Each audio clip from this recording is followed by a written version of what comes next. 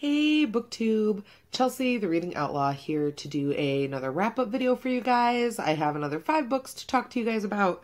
This These are books 16 through 21. I just want to point out I finally found my little Tyrion Funko Pop. So he's hanging out with Jarrett. There he is. He's adorable. As you can see, he is approximately proportionally shorter to a normal Funko Pop. It's adorable. I just thought I'd point that out because I love him. Uh, but yeah, so book number 16 that we were talking about, this is 13 Ways of Looking at a Fat Girl by Mona Awad. Uh, so this book. So I thought this book was nonfiction when I first went into it. That is false. This book is fiction. It is the story of Lizzie, who is fat, and basically it is her growing up and going from fat to skinny to like unhealthily skinny and kind of about obsession and food and body image and femininity and how all of those things interact. I didn't really like it. Actually, I didn't like it much at all. I only gave it two stars.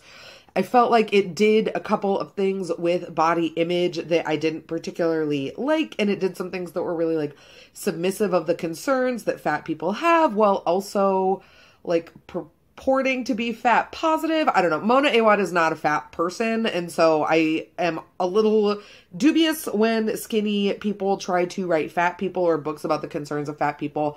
I did really appreciate that the book went down the unhealthy path or went down the path of how unhealthy it can be to kind of become obsessed with weight loss in that fashion. But I still just didn't really like some of the parallels and contrast that the book drew, so it was not for me the next book is a book that you guys have already heard me talk about in depth uh, in my review video, and that is Searching for Sunday, Loving, Leaving, and Finding the Church by Rachel Held Evans. I did a full in depth review of this book. It was a five star book. I absolutely loved it. Um, that's all I'm really going to say here because I think you should go check out that video, which I'll link in the title card.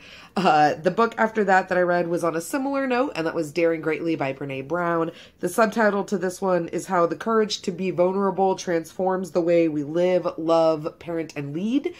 And so basically, Brene Brown has spent her entire career studying vulnerability and shame and how those two things interact. And this is, book is all about how to be vulnerable and how to become shame resistant and to embrace the negatives that come with the positives of vulnerability and that vulnerability is strength. And how by recognizing that we can then change how we interact with people in our lives, whether those are coworkers or subordinates or relationship partners, romantic partners, friends, children, all of the people in our lives, shame and vulnerability is something that plays a part for all people and that almost everybody struggles with on some level in different ways.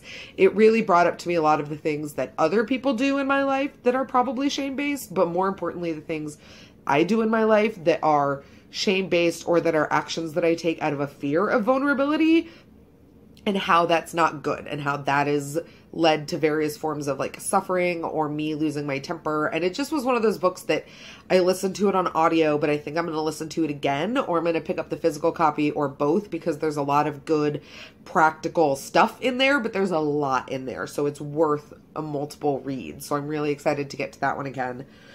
The next book is finally one that I am so glad to have off my TBR, and that is Song of Susanna by Stephen King. This is the sixth book in the Dark Tower series.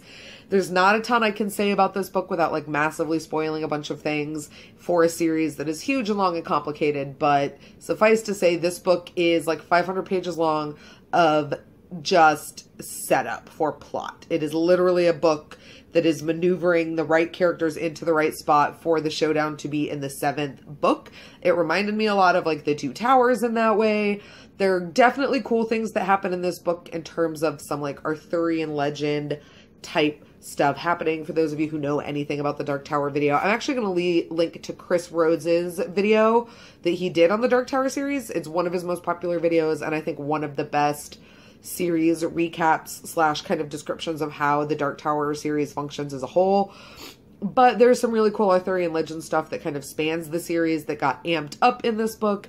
There's also some weird stuff in this book that goes on like metatextually with Stephen King as like a character. That's a well-known thing that happens in this series, but this is the book where that like really starts to become a thing and like I don't know, my husband says it gets kind of worse from this book cuz he's actually finished the whole Dark Tower series, but yeah, so anyway, that means that we are finally here. We're finally onto this bad boy, The Dark Tower, The Dark Tower. This is book seven.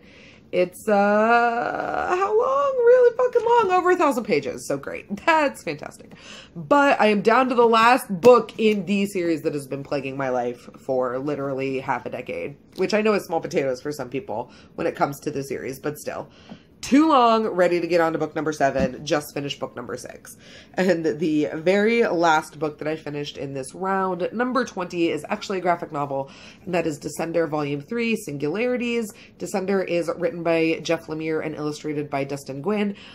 I love Jeff Lemire's work. I really loved Sweet Tooth. I loved Plutona. I really am liking the way Descender is going. I thought this volume was much stronger than volume two. I really like backstory issues. I know some people don't, but I really love issues or like volumes of trade graphic novels that bind up single issues that deal largely with character backstories. And that's pretty much what all of volume three is. We learn we follow, you know, several major characters throughout the Descender story arcs. And in volume three, we kind of learn how each of those characters got to the place where we meet them in book one.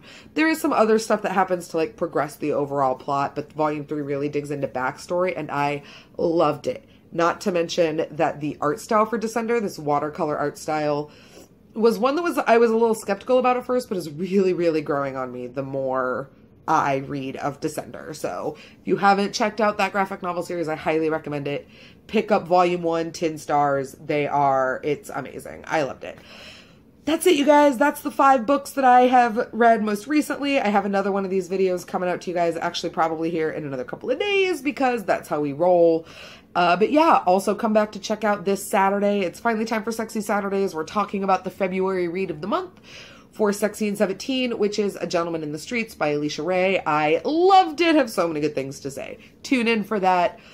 Come back, comment, like, subscribe, do all of those things down below. Check me out on social media, hit me up. We can always talk books.